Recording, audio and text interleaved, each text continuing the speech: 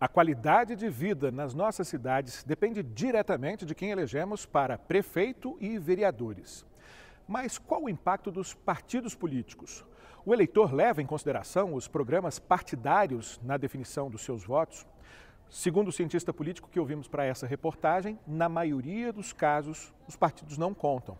E segundo Murilo Medeiros, isso tem a ver com o nosso sistema político. Além de caro e muito fragmentado, o nosso sistema político tem como característica o personalismo excessivo na arena eleitoral, com reduzida importância dos partidos nas disputas, sobretudo para a Câmara de Vereadores.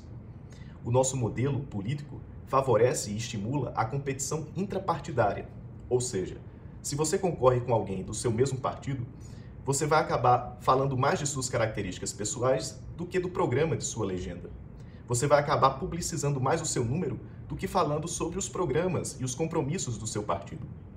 Com o descrédito do nosso sistema partidário, outras instituições acabam cumprindo o papel de intermediação dos votos, como igrejas, sindicatos e até mesmo agora as redes sociais. Ainda, segundo o cientista político Murilo Medeiros, ao contrário do plano nacional, em que a polarização entre PT e PL persiste, no plano municipal a tendência é que os partidos de centro mantenham a hegemonia, ou seja, maior poder, maior controle. E ele cita nominalmente PSD, União Brasil e MDB como os partidos que devem ter maior número de vitórias. Inclusive, as mais recentes regras eleitorais tendem a beneficiar quem já está na política, em comparação com quem ainda está tentando entrar. Com a redução do número de legendas e também do número de candidatos em disputa na eleição municipal, a competição eleitoral tornou-se muito mais aguerrida, afunilada e enxuta.